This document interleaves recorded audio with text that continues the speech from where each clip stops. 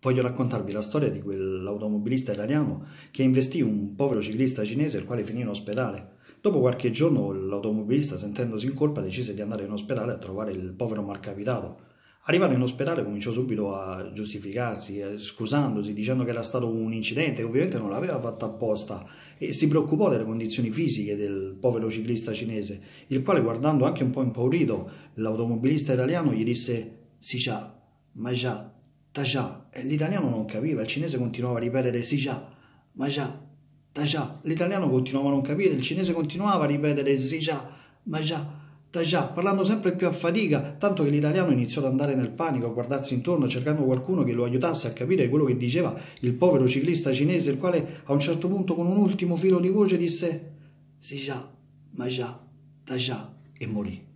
A quel punto il povero automobilista italiano non solo era dispiaciuto, ma eh, aveva anche questo forte dubbio di, di che cosa avesse voluto dirgli il povero ciclista cinese. E passarono i giorni, passarono le settimane, questo dubbio sempre più forte, questo pensiero fisso, tanto che l'italiano decise di andare a mangiare in un ristorante cinese e con la scusa fermò un cameriere cinese e gli chiese cosa volesse dire si già, ma già, ta già. E il cameriere cinese, guardando l'italiano, anche un po' stupito, gli rispose togli piede da ossigeno